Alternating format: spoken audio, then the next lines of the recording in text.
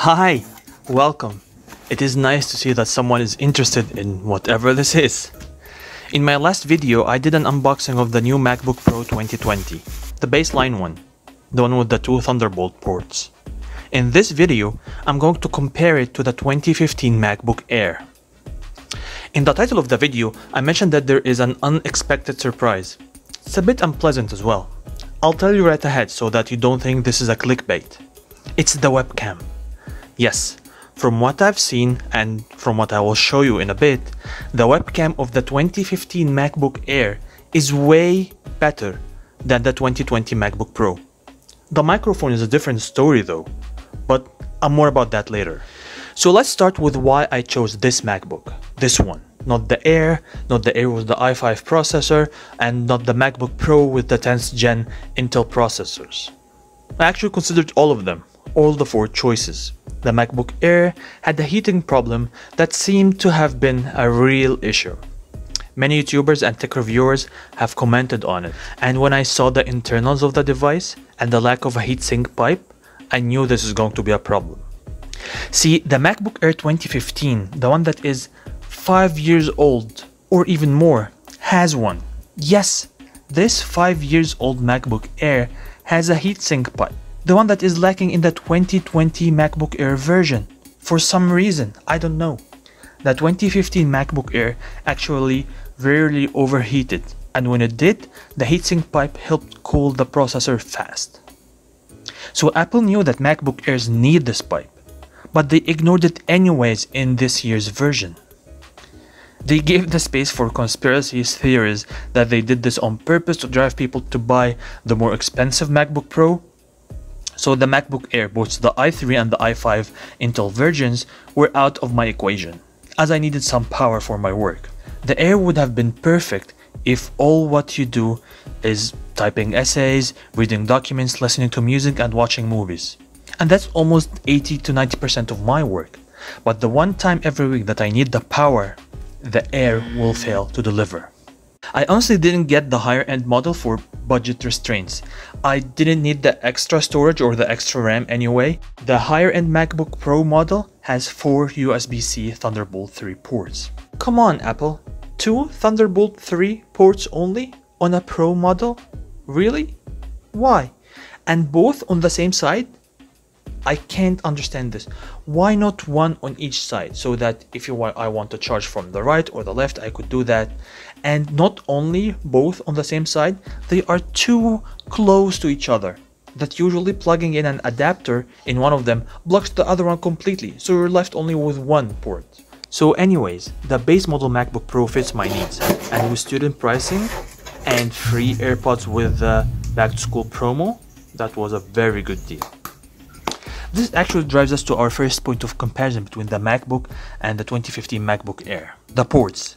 So one of the few things that I will miss on the MacBook Air 2015 is the number and variety of ports. It had two USB 3 Type A, an SD card, a mini display port. Now, welcome to the dongle life. Well, actually, this will not be that annoying given that you had to use a dongle if you needed to connect to external monitor either with a VGA or HDMI port. But at least when you had to transfer a file from someone or connect to a printer that had a USB-A port, you didn't need a dongle. So until the USB-C becomes the universal port that it is destined to be one day, and everyone carries a USB-C flash drive and all the cables become USB-C, until then we will still need dongles at least until Apple gives us the SD card slot back. Two more things that I will miss from the 2015 MacBook Air. One, the glowing logo. I loved it. I loved this thing. I wish it comes back one day, but that's not a big deal. The big deal for me is actually the MagSafe. I know people now are used to charging everything via USB-C, their phones, their laptops, everything. But coming from 10 years with MagSafe, it will be hard, especially for someone as clumsy as I am.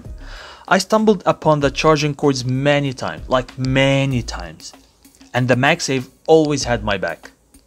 Now I think I will have to be super careful around my MacBook more than before. It's not going to be easy. Externally, the new MacBook Pro is smaller than the MacBook Air in every dimension, even in thickness, only when it comes to the thickest part of the MacBook Air. The MacBook Air and Pro back in 2015 both came in one color, silver. So I had a silver MacBook for more than 10 years, so it was time for a change.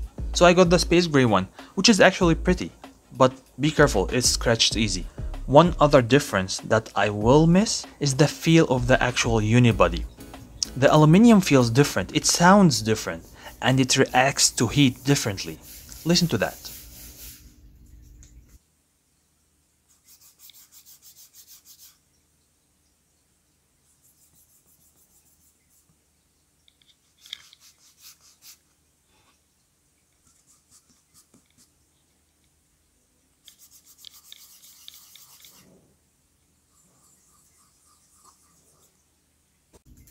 It sounds like it has a different kind of coating.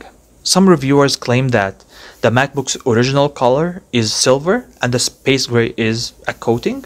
So if you scratch it, it will show its original silver color.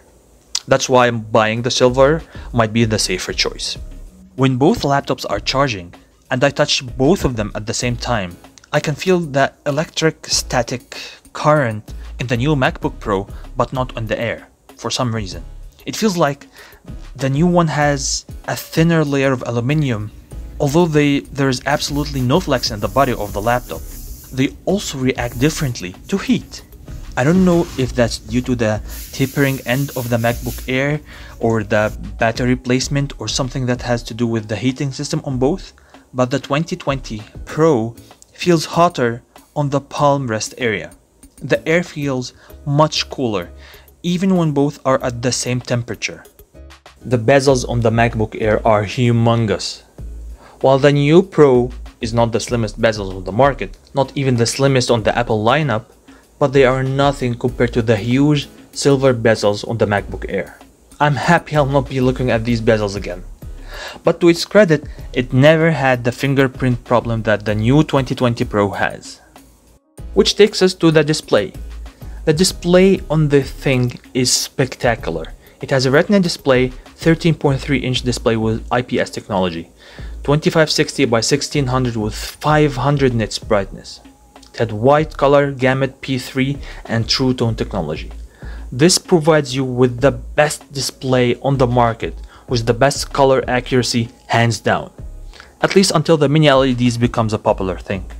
The display on the MacBook Air 2015 was Hmm, okay, it did the job. It was not the most color accurate and the resolution was lower than the competition, but for my needs, typing and reading PDFs and watching 720p and rarely 1080p videos, it did the job. I was not that picky until I tried the new display. It's ages ahead, but again, it depends on your needs. It had a 1440 by 900 pixel display and the Intel HD Graphics 5000 and only 344 nits of maximum brightness. For me, it was more than enough because most of my work was done indoors. Here's an example of a zoomed in screenshot from both screens. Now the webcams. This was a shocking surprise for me. I went into this test knowing that both webcams are 720 potato webcams with a way better microphone on the new MacBook, but what I saw really surprised me. Let me show you. So this is the webcam and microphone test on the MacBook Air 2015 and this is the webcam and microphone test on the MacBook Pro 2020. Am I seeing this right? It seems that first of all the angle on the MacBook Pro is wider. I can see more from the ceiling and from the picture on the side on the MacBook Pro but other than that the sharpness is better. On the, MacBook Air the colors are better. The grains oh my goodness look at, look at that. Look at my shirt. Look how much grains are there and on the ceiling and on the curtains in the background. Apple what did you do? The webcam. I know the microphone is way better on the new one but the webcam is it really better on the five years old macbook air not even pro that is weird that is unexpected like I was coming into this test expecting them to be the same. I know on the spec sheet they are both they are both 720p potato webcams, but this this is not what I expected. It's sharper, it's brighter, it's less grainy on the MacBook Air 2015 when compared to the MacBook Pro 2020. How did you mess that up, Apple? I'll have to test it again tomorrow in the morning with sunlight. Hopefully it will be better then. But this, in room lighting, this is bad. This is very bad. I was not expecting that. Alright, let's continue. So I'm now using the MacBook Air 2015 and I'm in the best lighting conditions in my house and this looks good. I can barely see any grains and I think the picture is clear, my face looks clear and sharp, the background is clear. Let's see the MacBook Pro 2020 now and see if, if the normal sunlight will make it better or not. So I'm in the best lighting condition in my house in the morning and I can still see the grains. I can still see grains on the on the cupboard in the background on my shirt. I don't know. So you tell me if if this is that much worse than the MacBook Air 2015, right? I don't know how Apple messed this up that bad, but it was obvious to me that the webcam on the 2020 MacBook Pro was not as bright or clear as the 2015 MacBook Air. So unless you are sitting facing your window in direct sunlight, you are better off with the 2015 MacBook Air webcam. I am just as shocked to say this as you are hearing it. On the other hand, when it comes to microphone, there is no comparison. As for the speakers, the new MacBook has richer, deeper and louder sound thanks to the grills on both sides and to the high dynamic range speakers. While the older Air had its speakers below the keyboard, which made it sound a bit muffled. But again, it was good enough for me as I usually use my headphones anyway. But you know what, let's take a listen. And thank you to Max Tech for getting me hooked up on this song.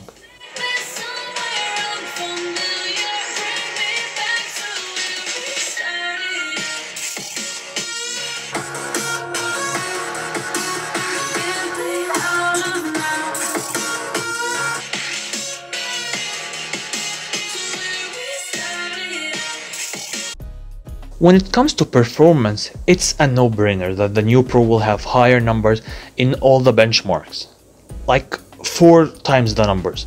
I will not test benchmarks, as it doesn't really provide us with real-life situations where you can find your device underperforming. Let's open some apps and see. When it comes to thermals, the MacBook Air 2015 was a real champion of its time. It almost never got hot, unless I really pushed it. Remember, it had a heatsink pipe, a technology Apple now seems to include only on its Pro machines. Which keyboard is better? I know for a fact that the Butterfly keyboard was not a good keyboard, period. That's why I never got last year's MacBook. The older keyboards had more key travel distance than the Magic Keyboard, not as much as the 2010 MacBook Pro I had before, that almost had like a mechanical keyboard but I don't know how to describe it. The Magic Keyboard is more stable. The keys do not wobble when they bounce back. The keys are wider and they sound better. I'm enjoying typing on this keyboard more than I thought I will. The new Magic Keyboard is definitely the winner among those two. Although the older scissor switch keyboard was really good and the best on the market until this year, the Magic Keyboard is a whole new level. The touch bar, hmm, what do I say? It's a gimmick. Not once did I feel that the touch bar increased my productivity. On the contrary, sometimes it makes things slower. The trackpad is miles ahead. The Force Touch technology is a joy to work with. Apple always designs the best trackpads in any given year, and 2020 is no exception. Force Touch is a different technology. The haptic feedback gives you a true feeling of a click in any place of the trackpad and it's almost as twice as big. So what's the verdict here? Would I recommend an upgrade? The short answer is yes. The new MacBook Pro is better, faster, with a better display and a better keyboard and a better trackpad and a better microphone and a worse webcam. My decision was based on the fact that I could sell my current MacBook Air for a good price. I could also benefit from selling the AirPods for a couple of hundred dollars, as well as avoid having to replace the battery on the MacBook Air soon. Second question is should you wait for the upcoming ARM-based MacBooks? Well, this is complicated. But the short answer is no. Don't wait. Because if you are planning to wait, it will be for more than two years. Why? Well, if I learned one thing from being a PhD student, is that the first draft of anything will always, always have many flaws. And it takes years for a product as big as a PhD thesis or a new MacBook lineup to be perfected. All companies, and Apple specifically, usually have problems with their first generation of their new products. The iPhone 1, iPad 1, MacBook Air and MacBook Pro Gen 1, and Apple Watch Gen 1 as well, all had flaws that were corrected in their respective Gen 2 or 3. Also, what we know so far about the ARM-based MacBooks might make you want to wait even more. We know that they will not be able to run Windows if that's important to you. We know that many applications will not work from day one. Well, the basic ones will work, of course, from day one, like Microsoft Office, Skype and Zoom, iWork apps, and basically any app that works on the iPad will work on the ARM-based MacBook from day one. But there still will be some hiccups, that we know.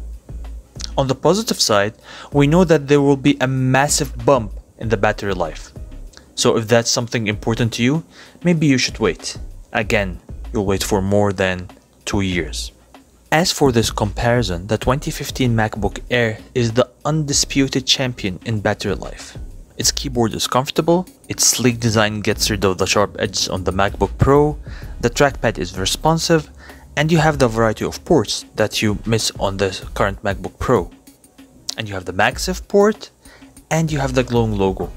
This is a winning combination. It all comes down to you and your needs. If you need a MacBook now, the current MacBook Pro base model is the one to get. It fits most needs and most budgets, and it has very few compromises. If you want to run games, this can do it for you. If you want to run productivity apps, this can do it for you. If your current Mac works for you, and selling it will not get you enough money to upgrade, then it's okay to stick with it right now. But remember, the next solid upgrade for the 13 inch models, the MacBook Pro and MacBook Air, is at least a year away. And then you will have to wait for maybe a couple of months for tech reviewers to discover what is good and what is bad about it before you make a decision. Anyway, I hope you found what you were looking for in this video, and since this is a new channel as you see, all your feedback in the comment section will be much appreciated for future videos. Good luck in your purchase. Peace.